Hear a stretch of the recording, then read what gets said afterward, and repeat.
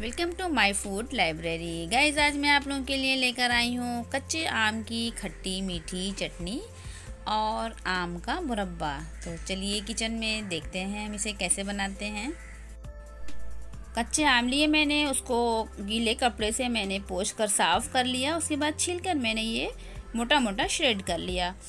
और एक muslin cloth से मैंने दबाकर इसका थोड़ा सा पानी निकाल दिया था। आम मेरे ज़्यादा खट्टे नहीं थे। अगर आपके आम बहुत खट्टे हों तो आपको ऐसे श्रेड करके उसको पानी में भिगा देना है आधे घंटे के लिए।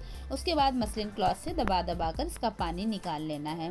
तो ऐसा करने से थोड़ी सी इसकी खटास जो है वो कम हो जाएगी। तो पहले मैं मुरब्बा बनाऊँगी और दूसरा मैंने इधर आम को सेम वैसे ही छीला और उसको मैंने ऐसे छोटे छोटे पीस में कट कर लिया। तो सबसे पहले हम मुरब्बा बनाने की तैयारी करते हैं। ये साढ़े तीन सौ ग्राम आम थे, उसमें मैं शुगर ऐड करूँगी थ्री हंड्रेड ग्राम। तो पहले हम पैन में शुगर डाल देते हैं और अब मैं इसके अंदर डालूँगी एक कप पानी और शुगर मेल्ट होने तक मैं इसे पकाऊँगी।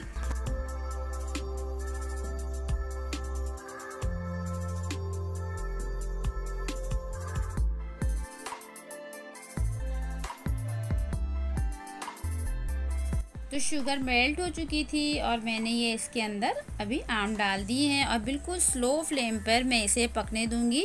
फ्लेम को हाई नहीं करना है अदरवाइज़ ये बहुत जल्दी एवोपरेट हो जाएँगे। फिर एक मुरब्बे की कंसिस्टेंसी नहीं मिल पाएगी। तो इसे हम पकने देते हैं। आठ से दस मैंने आलमंड लिए थे, उसको मैंने गर्म पानी में डालकर उसका छिलका रिमूव किया और चॉप कर लिया। और ये तीन चार छोटी इलायची हैं, मैंने इसे सिर्फ़ खोल लिया। तो चलिए, वो हम मुरब्बा उधर पक रहा है, इधर हम खट्टे मीठे आम की चटनी की तैयारी कर लेते हैं।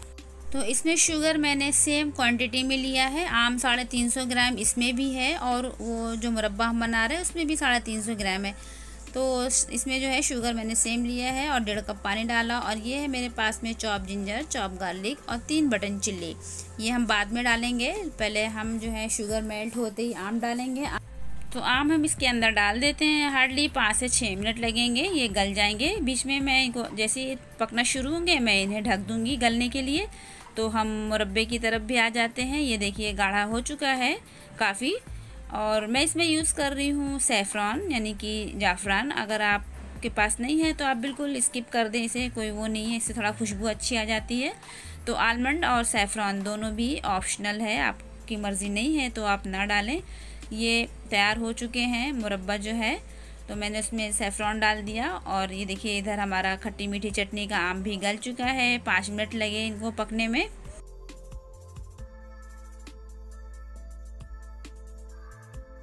तो अब हम मुरब्बे में हमने इलायची भी डाल दिया जो हमने खोल कर रखा था और अब हम आलमंड डाल देंगे। और बस इसको मैं एक से दो मिनट और पकाऊँगी और फ्लेम में ऑफ़ कर दूँगी।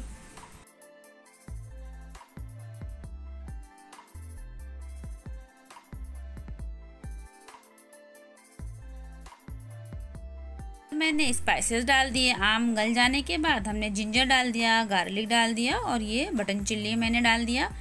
और ये भी बस तैयार होने वाले हैं। इनको पकने में ज़्यादा से ज़्यादा पंद्रह से बीस मिनट और ये वन फोर टी स्पून में डाल रही हूँ चिल्ली पाउडर तो इससे आएगा ये थोड़ी सी आपकी चटनी जो है तीखी भी लगेगी, खट्टी भी लगेगी, मीठी भी लगेगी